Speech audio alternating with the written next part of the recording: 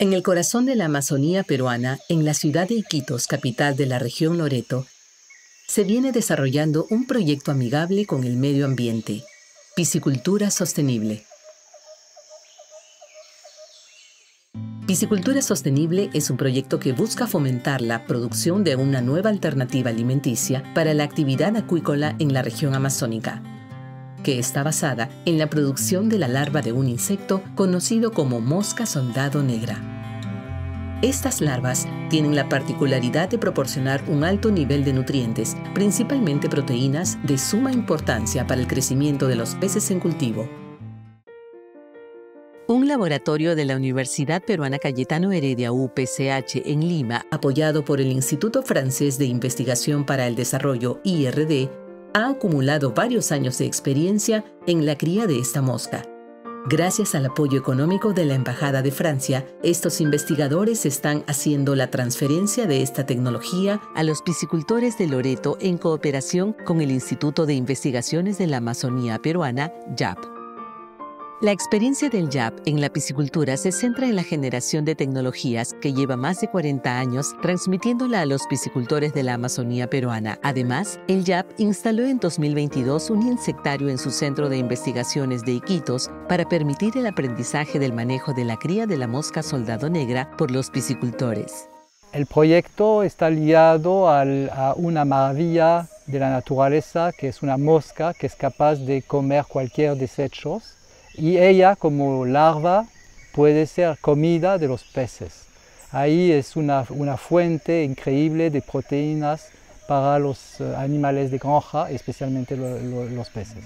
El costo de producción de esta larva resulta mínimo, ya que el insumo se encuentra disponible en los centros de producción de los piscicultores y consiste simplemente en los desechos de materia orgánica, frutas y verduras, que por lo general se desperdician. Por esta razón, hablamos de desarrollo sostenible, porque no se pierde nada, todo se transforma, lográndose así un ciclo nutricional perfecto.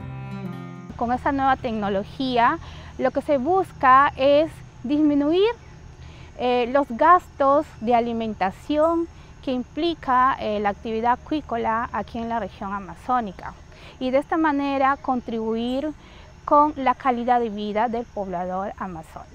En este proyecto también contamos con el apoyo de Carol Barragán, profesora de la Universidad Nacional de Colombia, quien realizó un proyecto similar en la selva de Colombia denominado Insectos por la Paz, que utiliza los insectos como alimento alternativo para las poblaciones vulnerables. Carol ha venido a apoyarnos con su experiencia y nos da su valiosa opinión sobre esta iniciativa. El uso de insectos ha crecido muchísimo con diferentes tipos de beneficios. Nosotros estamos tratando de incorporarlo de tipo social y al ver que aquí a nivel de Latinoamérica, un país vecino como nosotros están tratando de hacer algo, una, iniciativa muy similar, a mí me, llena de esperanza, porque realmente tenemos que volver a nuestras comunidades eh, autónomas, independientes.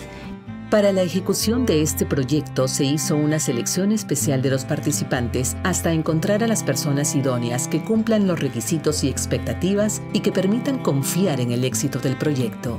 Un candidato ideal es una persona que va a entender la práctica, que va a poder hacerla suya, una persona que tiene un sistema agrícola en el cual tiene a la vez producciones vegetales que pueden ser perdidas y la posibilidad de tener prácticas en agricultura, en piscicultura. Estos dos elementos, más el interés personal, son los elementos para seleccionar las personas.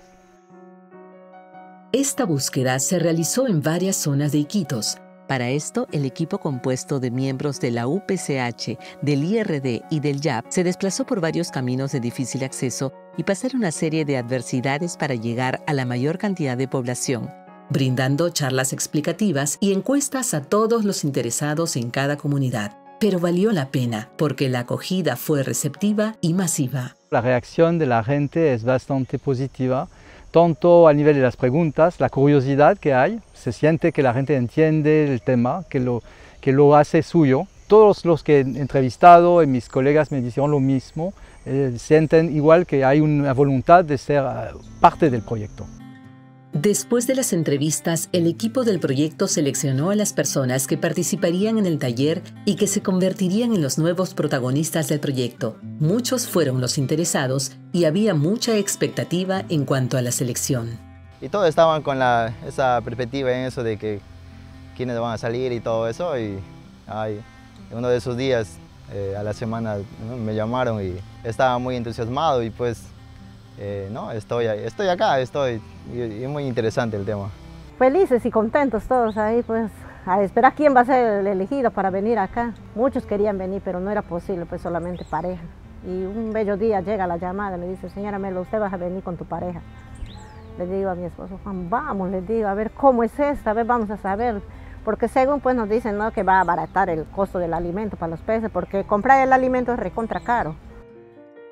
La primera semana de diciembre se inició el taller. Llegaron los elegidos de distintas comunidades al Centro de Investigaciones del YAP de Iquitos, todos cautivados por esta nueva etapa en su vida que les abriría un nuevo horizonte con la crianza de sus peces. El taller explica todo el ciclo de vida de la mosca soldado negra, desde la preparación de la materia orgánica para la producción de larvas, la siembra de microlarvas, la instalación del sistema de atracción para la puesta de huevos, medición de larvas, armado de jaulas, alimentación de los peces con larvas, preparación de puparios y bebederos y la separación de larvas de su residuo.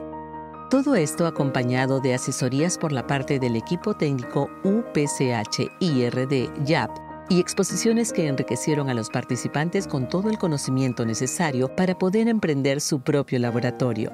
Estamos recontra felices ahorita con mi esposa, anoche no dormíamos pensando cómo hacer nuestro laboratorio, ya no solamente ese uno que nos manda, sino nos queremos hacer más, somos medio ambiciosos, porque nosotros no queremos dejar eso.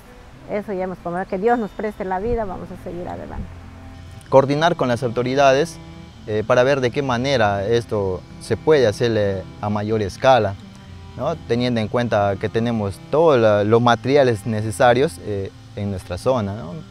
Tenemos frutas, este proyecto que tenemos nos ayuda, para mí es un gran, gran, gran, gran cosa que ha venido a levantar porque esto no va a tener una época. Es depende nomás de nosotros que nos vamos a, dedicarnos tiempo, a tener tiempo a eso, que vamos a tener todos los días.